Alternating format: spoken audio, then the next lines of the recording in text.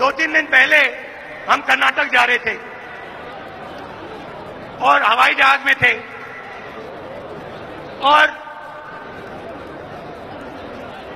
हवाई जहाज़ यूँ नीचे की ओर गया। आठ हज़ार फुट नीचे गिरा। मैं हवाई जहाज़ में बैठा था तो मैंने सोचा, चलो, गाड़ी गई। फिर जैसे मैंने सोचा गाड़ी गई, मेरे दिमाग में आया। मेरे दिमाग में आया कि मुझे कैलाश जाना है। कि मुझे कैलाश मानसरोवर जाना है। तो मुझे आपसे 10-15 दिन की लीव चाहिए होगी। कर्नाटक के चुनाव के बाद कि मैं कैलाश मानसरोवर जाके वापस आ जाऊँ।